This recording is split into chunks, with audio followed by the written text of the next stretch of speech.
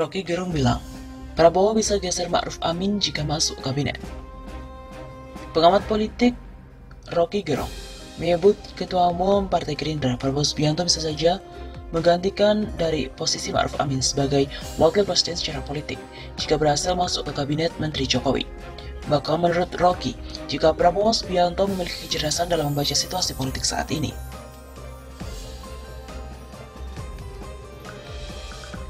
Yang jelas bahwa meja makan yang disiapkan oleh Cebong dapatnya oleh kampret.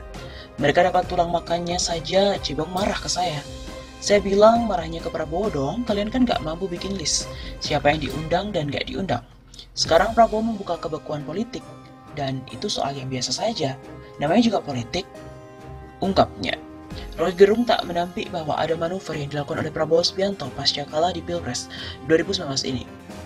Saya bayangkan misalnya Pak Prabowo di dalam sidang kabinet pertama pasti soal kebijakan jangka pendek. Apa yang mesti diatasi? Isu internasional, perang Cina Selatan, soal HAM, apalagi?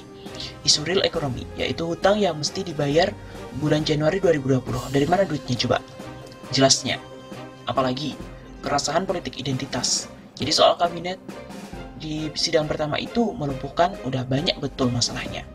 Sekarang chapternya itu siapa? Kan harus ada satu menteri yang paham secara lengkap kompleksitas dari isu-isu itu. Mungkin seorang paham, tapi tidak ada inisiatif untuk mengucapkan di publik. Tambahnya, menurutnya satu-satunya orang yang memiliki kemampuan itu adalah Prabowo Subianto.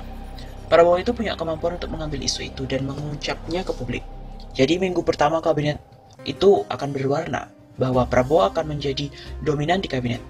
Pak Maruf Amin ya memang dipilih oleh Jokowi sebagai forgetter, bukan orang yang mampu merumuskan kebijakan kata Rocky Gerung.